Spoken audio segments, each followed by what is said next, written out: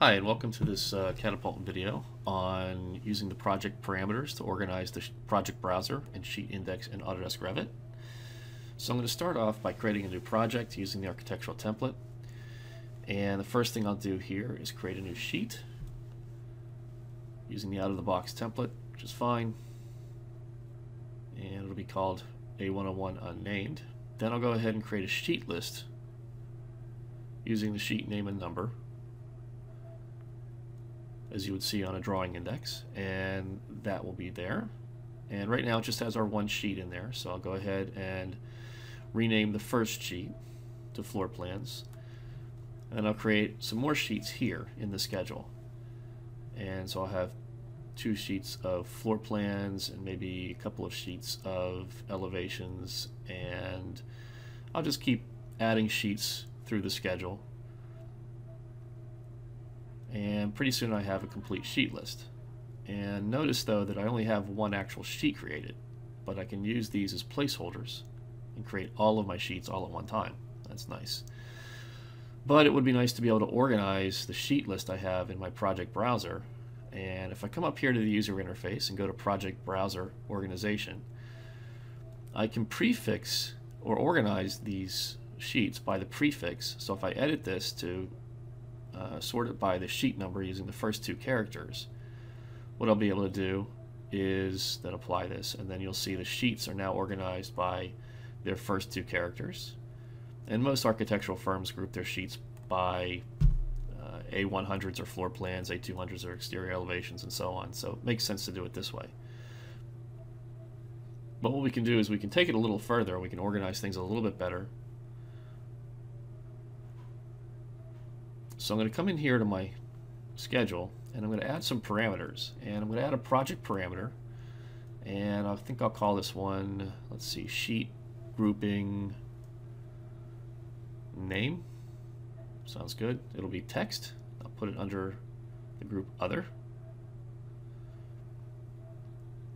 And I'll move that up to the front. And I'll add another parameter. I'll call this um, sheets uh, sheet schedule. Group. Grouping. And that'll be text and other as well. Let's call this one sheet list grouping. Let's get rid of the name. There we go.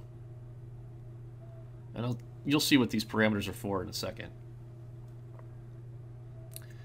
and I'll go ahead and reorganize this a little bit, put the sheet schedule grouping to the front. There we go. Okay, so what I want to do here is put in values for these parameters that will help me organize the project browser and also my sheet list as well. So I'm going to go ahead and label under sheet schedule grouping basically the discipline that these sheets are. So I have general information for the cover sheet and the general project information sheet. So I'll just go ahead and add architectural to all these. And for the sheet list grouping, I'm going to add some values here that will allow me to further refine how things are going to get sorted. So I'll start the cover sheet with say 0.1 cover sheet and this one will be 0.2 cover uh, general information and I'll start the floor plans at say 1.1 floor plans and I'll start adding values in here for these that will give me a sorting uh, mechanism that should come in handy in my uh, project browser.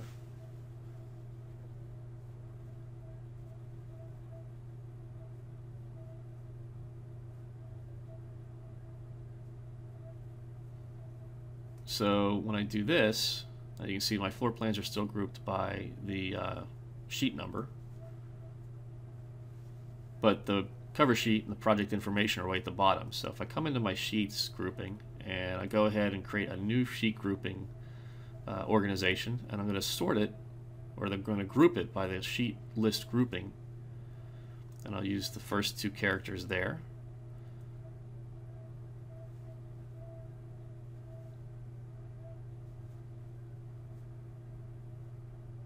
go ahead and make that current.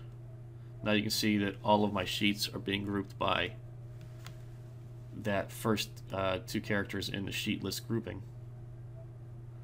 And let me go ahead and give it all the characters. That makes it a little bit easier to see. So now your project browser is better organized here for the sheets. It makes it a little bit easier to work with.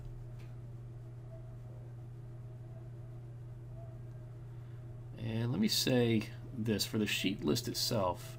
I'm going to rename this to be have uh, to call it all parameters. I'm going to duplicate it and then rename this one.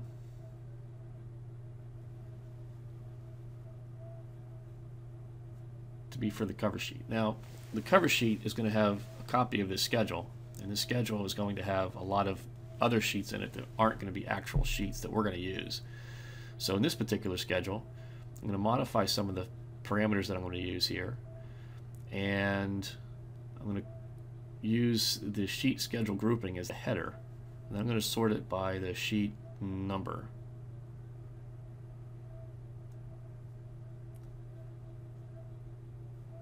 And I'm going to use the sheet schedule grouping field as a way of sorting it, but I want to hide that field. So I'm going to hide that field, then I'll rename sheet number and sheet name as they're going to actually appear on the cover sheet.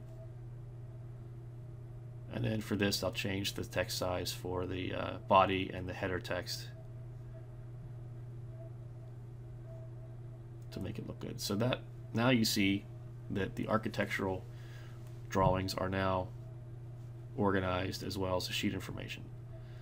So I think I want to modify this a little bit. Let me go ahead and add in that sheet grouping again and organize it by the sheet list grouping. Let's see if I can do this. So I'll sort it by the sheet list grouping, then by the sheet schedule grouping, and then finally by the sheet number. Again, hide that first uh, sheet list grouping and sheet schedule grouping parameters. We don't want those to show up in the on the title block. So that looks like this. Well, that's not exactly what I wanted because I want the architecturals to be all grouped together, but I want the general information to be above. So let's go back to this. And instead of doing this this way, I think what we're going to do is add another parameter. And we're going to call this one sheet schedule index. This is going to be an integer, just a number And group it under other as well.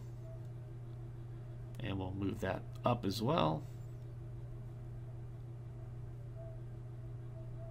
And then I don't need sheet list grouping, do I? No. Just remove that. So then there's sorting and grouping.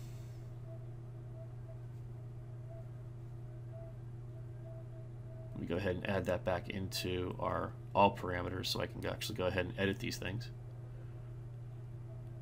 So go ahead and put that up there. And now in this sheet schedule index field, I'll just put in the numbers of how I want these things to actually sort by discipline. So all the general information will be zero, all the architecturals will be one. So sort by the group sheet index, then by the sheet schedule grouping, put the header in, then by the sheet number. And there we have it. There we have the general information above the architectural. So that'll work. Okay, let's go ahead and edit the parameters again to hide the index as well. So there we go. But how do we deal with multiple disciplines and get everything uh, set up exactly the way we want it. Well, we could go ahead and add to our uh, master schedule all the ones we need. Let's go ahead and just add this to the schedule or add this to the cover sheet just to show what this looks like. Now, the big problem with this is that the architectural group is really close to the general information group. There's not a whole lot of space there, and you can't you can't edit the spacing of the cells So I think what we're going to end up doing is that is creating additional schedules for each different discipline. But the first thing I want to do is, let's see, let's duplicate this, and we'll call this drawing index uh, architectural. And I will, see, I'll rename this to be general.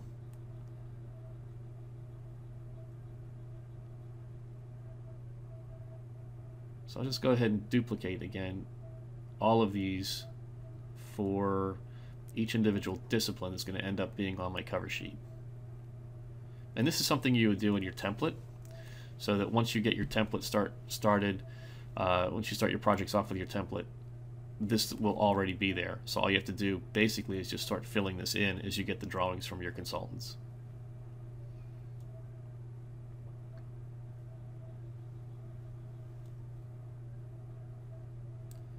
There's one for MEP and that should be good. So the only thing I have to do now is I'm going to go ahead and fill in some new sheets for structural. So go ahead and put a 2 in there. We'll make this one uh, structural.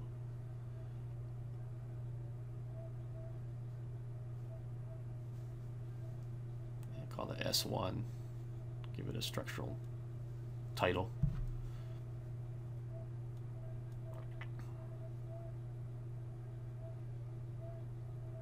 And go ahead and add some more. Flesh this out. I don't need a sheet list grouping because this isn't actually going to be a sheet that I'm going to put in my project. This is just a sheet in the in the schedule that'll end up being on my on my cover sheet.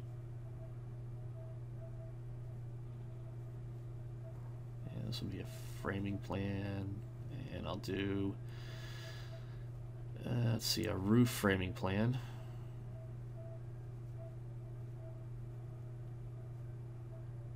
And I'll change this one to ground floor framing plan. And we'll add another sheet for details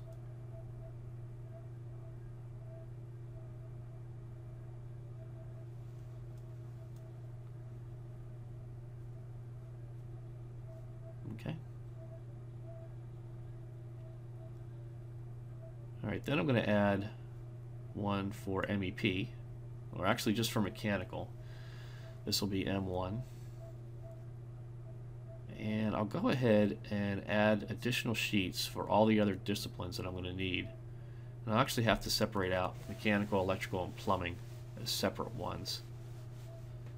So go ahead and add that. And so now here's our final sheet list. We have mechanical, structural, electrical, plumbing. And now what I can do is set up my, my sheet sorting in this schedule. I'll sort it by the sheet index, so now zeros, ones, twos, threes, four are all in order. So that's the way the final list is going to look. But then what I can do is go into my to each of my discipline specific schedules and set up a filter. And I'll filter it and I'll say if the sheet schedule grouping equals architectural, those are the only sheets that are going to appear in this particular schedule. So in the general, I'll go ahead and change that filter to sort by a sheet schedule grouping of general. I'll do the same thing for uh, my mechanical, electrical, and plumbing. Now here I have one schedule for everything. I'm going to go ahead and change this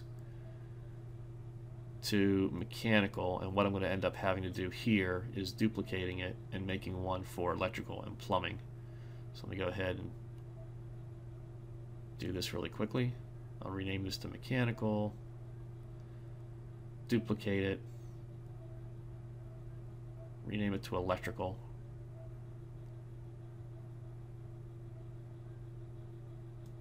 Duplicate it. Uh, I'll change the filtering here, change that to electrical and duplicate this again and make this for plumbing.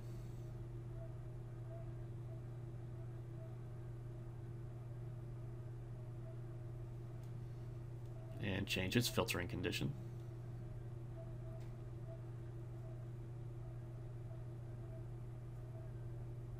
And so there's my original schedule. I'll go ahead and drag and drop the architectural on, and it'll snap to the exact same place the other one did, which is really nice. But the problem is, is that I'm seeing the title come in twice. So I'm going to go ahead and edit the appearance tab for that schedule and uncheck title and headers. And I'll have to do that for each and every one because I think that's the way they all came in. Yep. Go ahead and uncheck those. Yeah, that's the way we want it to appear.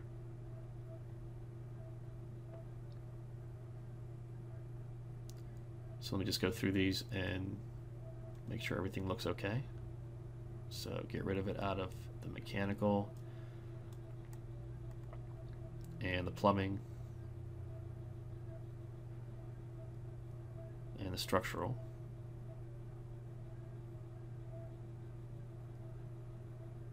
And I don't know why this got renamed to first floor, but I'm just going to go ahead and delete that schedule. I don't need it anymore. Okay, so now that that's done, I can start dragging and dropping my schedules in. So I'll put in my structural next. And that one, I forgot to filter that one out, so let me go ahead and fix that real quick.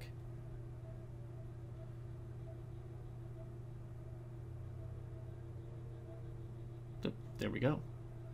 And right now then I'll just go ahead and drag and drop in mechanical, electrical, and then plumbing.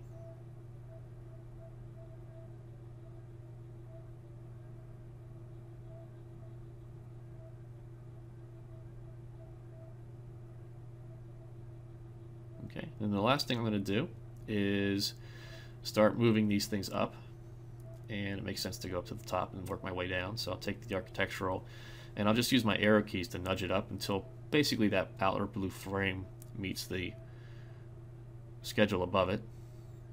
Go ahead and nudge that up. You can use the shift and arrow keys to move things uh, two or three times as much. Makes it easier to make big jumps. So there you have it. So now we have a well-organized, good-looking drawing index. It looks pretty good. And our sheets are well organized in our project browser. So hope you uh, hope you like it. If you have any comments, just uh, let me know. Okay, thanks.